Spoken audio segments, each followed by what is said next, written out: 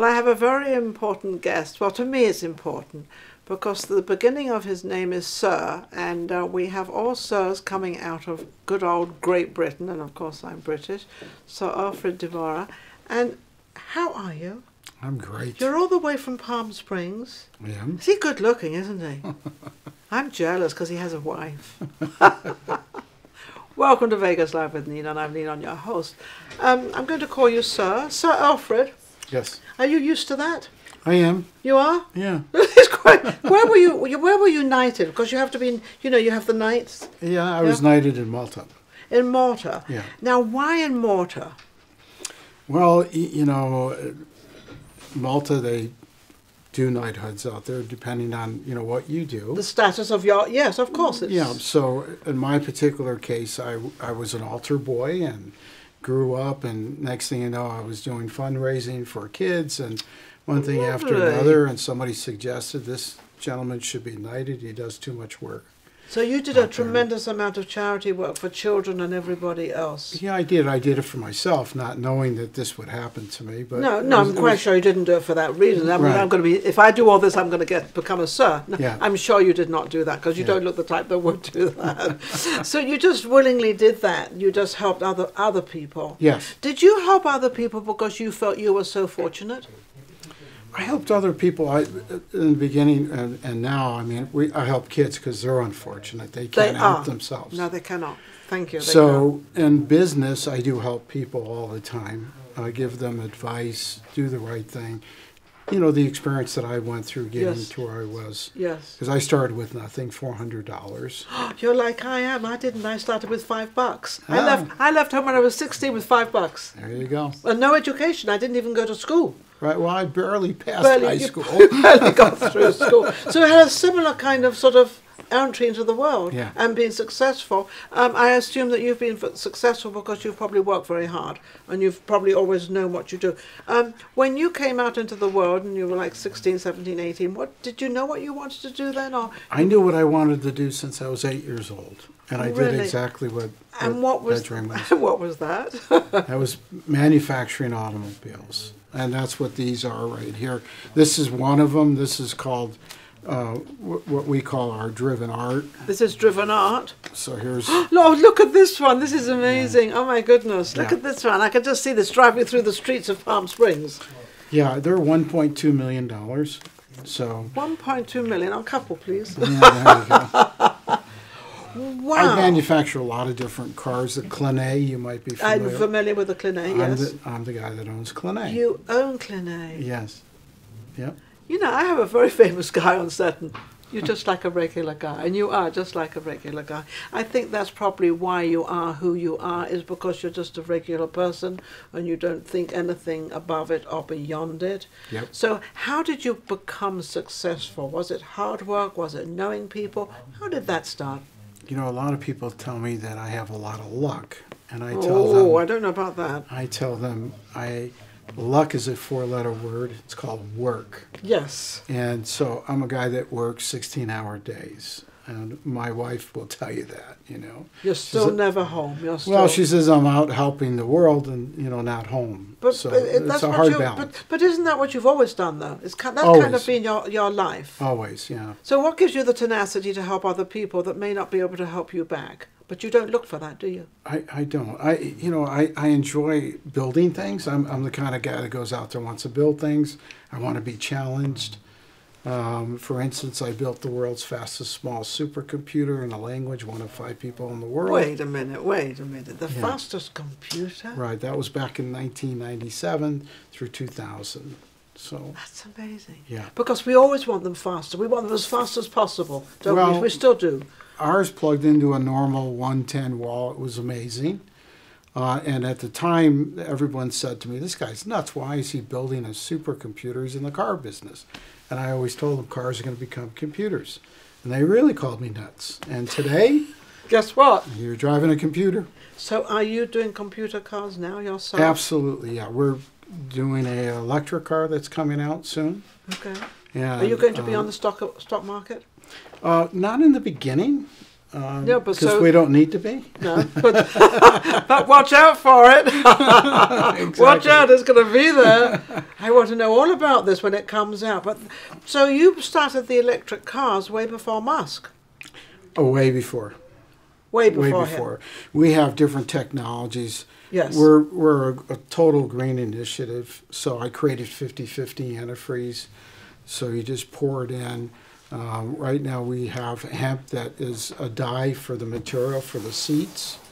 We, uh, we actually What do you mean hemp? we actually grow the hemp.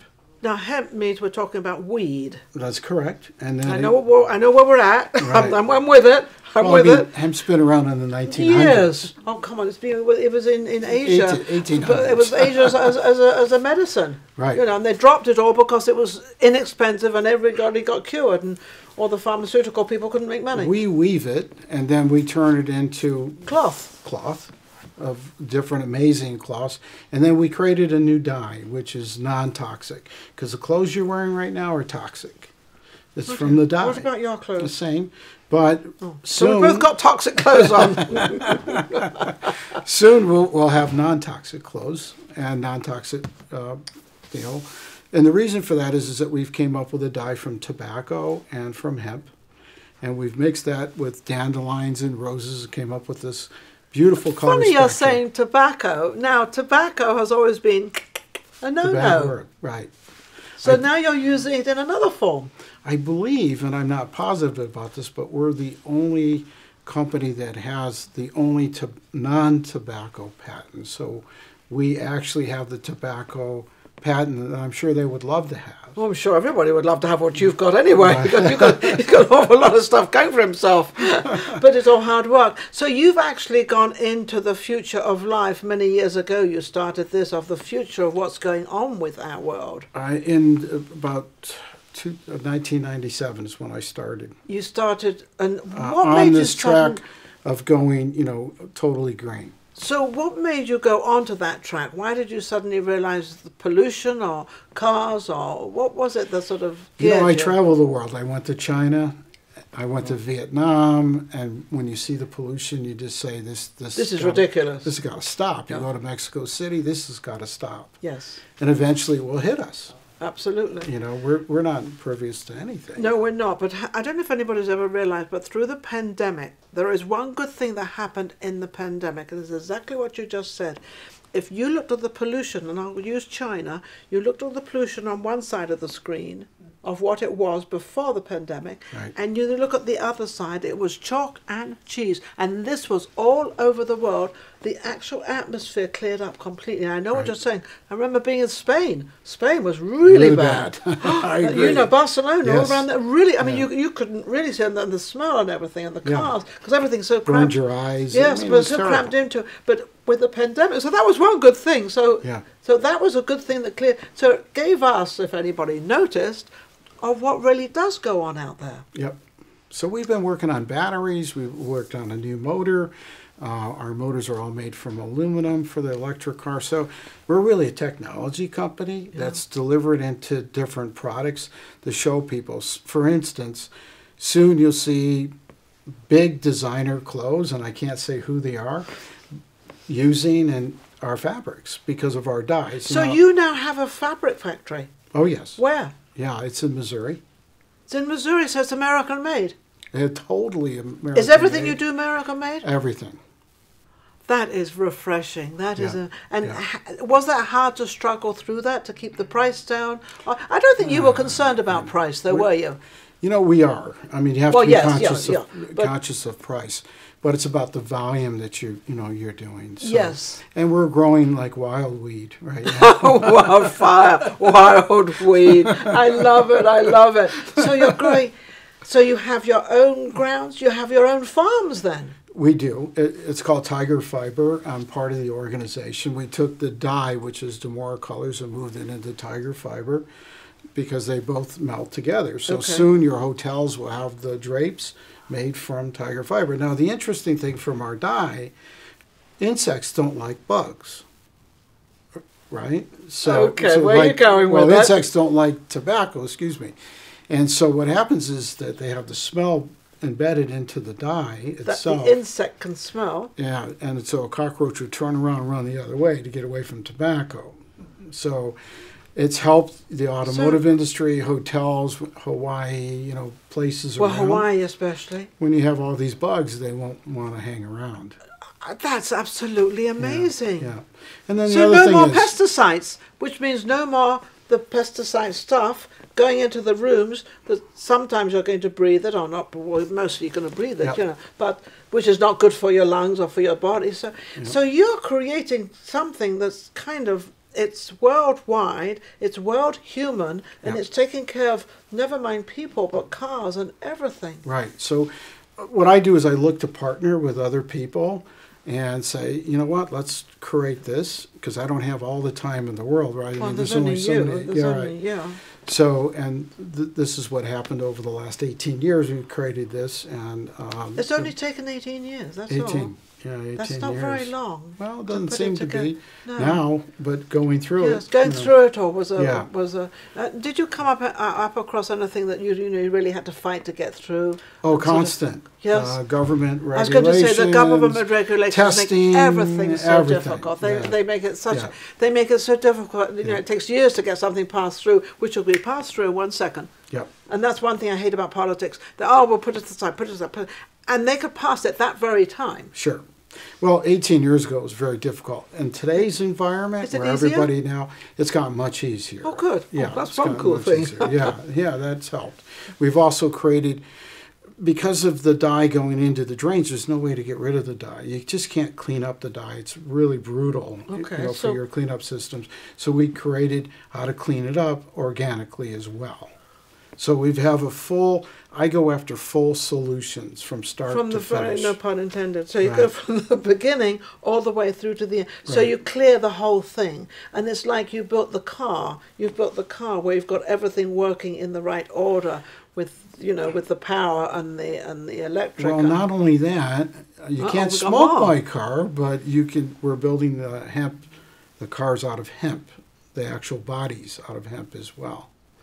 So a lot of people kid me and say, "Well, if I get in an accident, can I break it off and smoke Smoke it?" say, piece. No, it's, it's hemp. It's not CBD or No, recreational. it's different. It is. Do oh, that's a good question. The difference: hemp, marijuana, CBD. Difference. Oh, complete. You can't. Uh, the, that- CBD. People are afraid of it. I say no. Don't be afraid of it. Yeah, I would don't be. I wouldn't be afraid of it. I mean, not at all. But hemp is completely different. It's the weed. It doesn't bud. It doesn't. You know. It, It's it's the weed that doesn't bud, but it makes material. It, it makes Right, car yes. appliances. It it does a whole Yeah. tremendous amount. Um, are people having more hemp farms? Because I know that a lot of the farms um, they've passed through to, to be allowed to grow weed. yep. A lot of them um, back east and everywhere they they've they're allowed. Yeah, to, that's why we started in Missouri, uh, Tiger Fiber, and and now going through the different states. And what we're doing, and the reason why we're over there is that the farmers are having a tough time with their crops. yes. Now we're converting all those farmers into But crops. that's what I thought. This is Yeah. kind of helping them. Absolutely. They're not they're, they're not growing weed. They're growing hemp. right. which is the difference. And like CBD oil, Correct. that is totally different. I think so many people, this should be explained out there easier.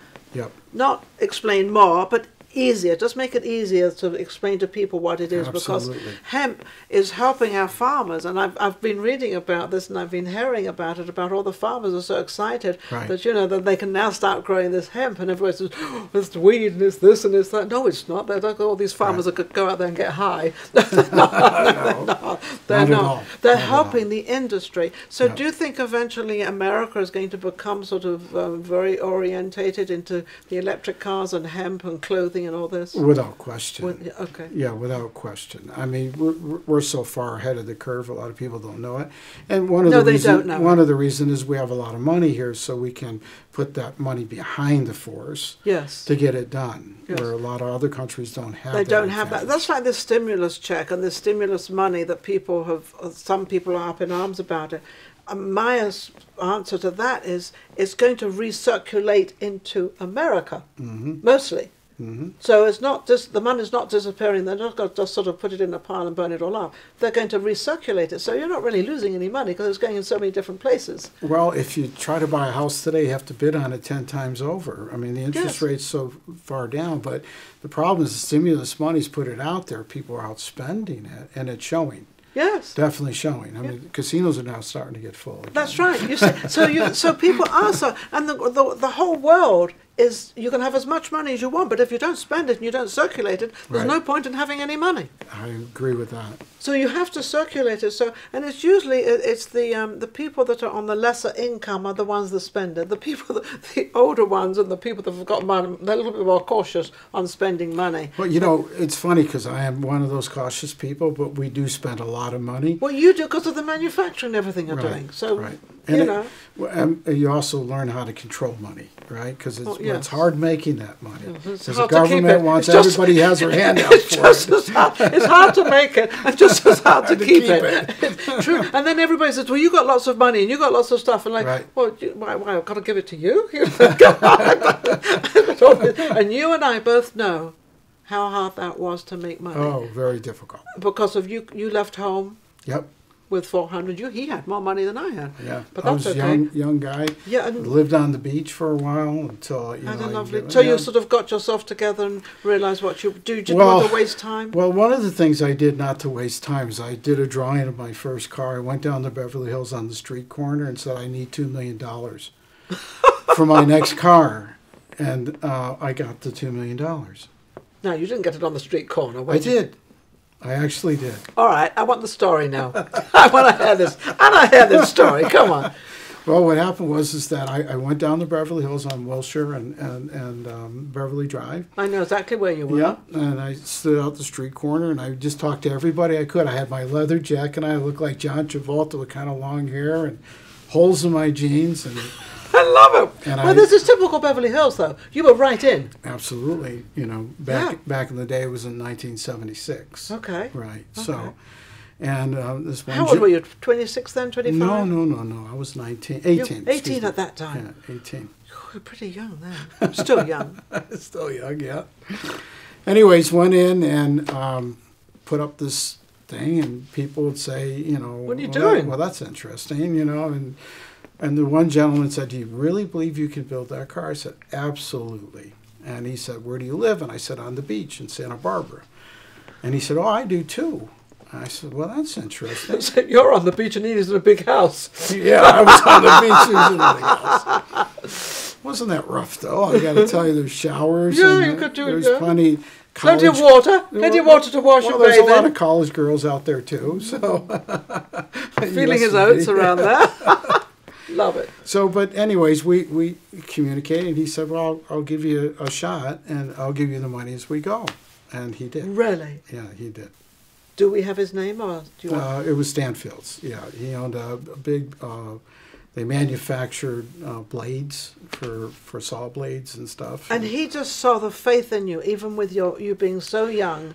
He he knew this is what you wanted, and he Yeah. was the man to help you. yeah, he was drawn to me. I asked him why he did that. Um, Is he still a friend of yours? Or is he Oh, he's passed, passed away? away. Yes, Uh, when, when I got him as an investor, he was in his late 80s, believe it or not. Oh. And um, So you were like a grandson. to him. exactly, and Yeah. he, he was a very, very wealthy man. And he said, "Well, how are you getting back to um, Santa Barbara. Santa Barbara?" On a walk. and I said, "I'm not sure yet." He goes, "Well, jump in my car," and he pulled up into this very rare Bentley, Touche. I like it.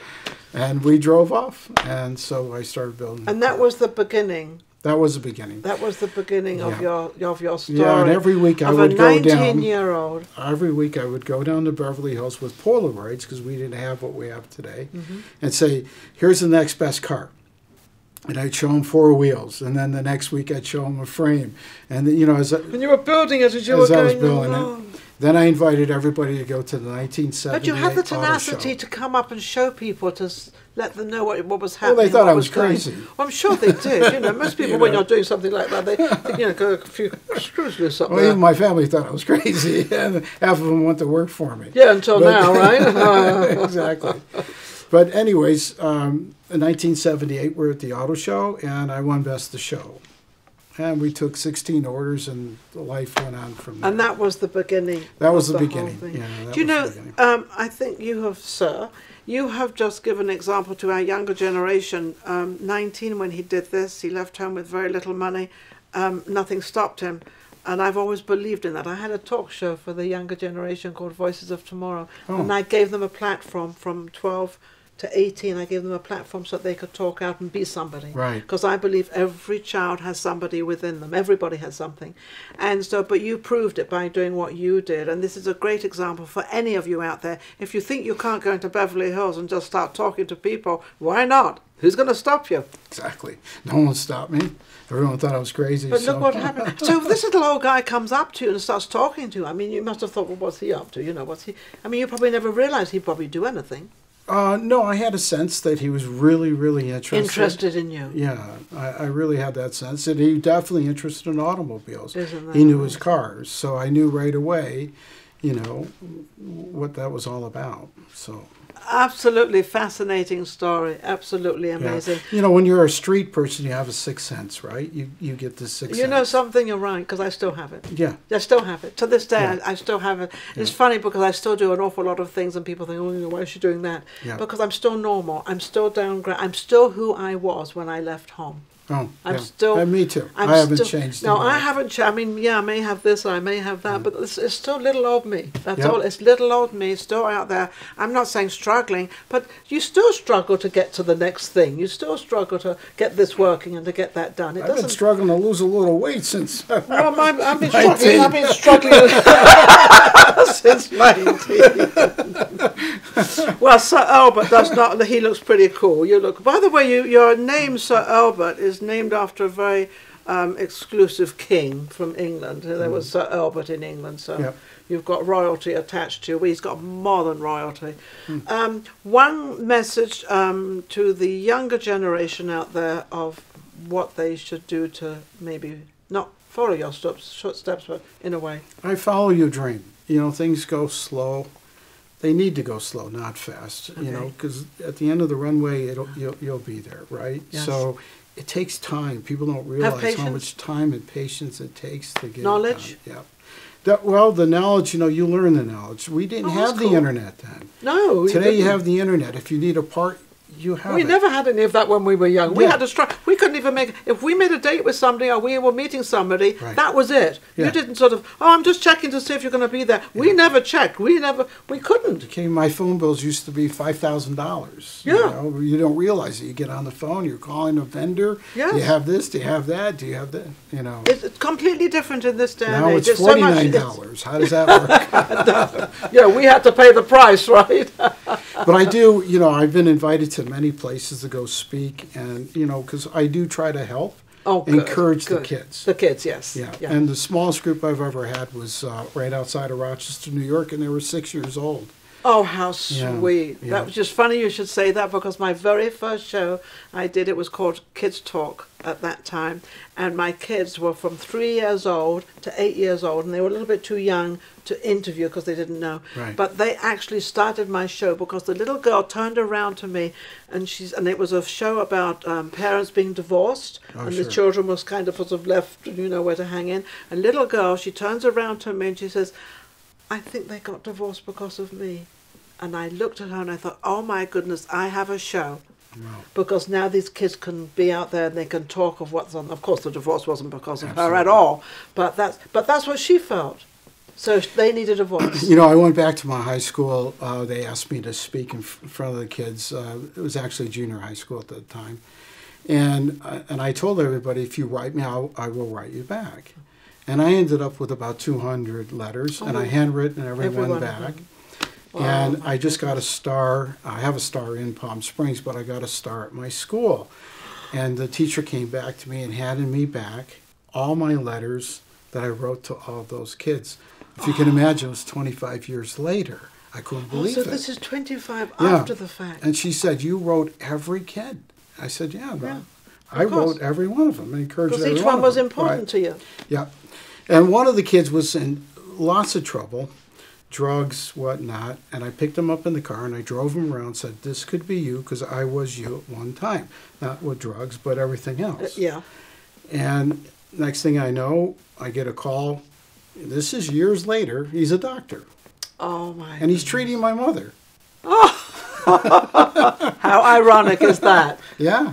So it's amazing what you you yeah you don't him. know where it's going to come you touched from. him. You don't yeah. know. And you, you don't because I, I did the show for 16 years. Right. I, I, I knew all the schools in Los Angeles. I knew all the kids. And I never pre-interviewed them because you can't pre-interview kids because Right. they don't like, well, I didn't pre-interview either. Right. I never pre-interview anybody because I like, I actually like the story. I like the story coming out how it, how it should be. Um, so Alfred, you've been amazing. Anything you would like to suggest out there as of what's going on right now with the pandemic or anything? Well, you know, the pandemic is a whole different deal. Story, yeah. Yeah, that's a whole story in Yeah, itself. in itself, And yeah. I just tell people, you know, try to be safe. Try And, to be um, safe and yeah, take care of yourself. Especially the elder. Yeah. I think, you know, people don't realize, but this has been around for a long time. COVID, if you look at it, it's been around for around 12 years. I just wonder what happened to the flu because it seems there's no ads on the television about taking flu or, or you know, there's different flu things you can take. There's no advertisements of them. I haven't heard one word about flu. Flu's kind of gone out the window. Flew out the window. So Well, if you in San Diego County, they did a whole survey of who got the flu, and not one person got not one got the flu. No, nobody's So had flu in everything the now, entire is- world. everything now is COVID. COVID, yes. I mean, if you've got a heart attack, it's COVID. If you've got Yeah. diabetes, it's COVID. If you've got the whatever, it's all COVID. So, Yeah. and I'm not being sarcastic, and I'm not being anything out there. I'm just saying the facts. Yeah, that's just, is a fact. That is a fact, and that's what's out Yeah. there. And I'm like, huh, what's going on? I have I to thank you. Absolutely an amazing guest, but what an accomplishment and congratulations on everything. Absolutely wonderful. Thank you for watching Vegas Live with Ninon. Uh, we'll be back with our next guest, but don't forget to go to uh, YouTube and check out our shows and see what we're doing. It's all out there. We'll see you next guest. Take care. If you enjoyed the last show we just did and all the other shows, don't forget to subscribe Vegas Live with Ninon on YouTube. We've got plenty more coming up and our guests are amazing. So don't forget to subscribe. We'll be right back. Vegas Live with Ninon.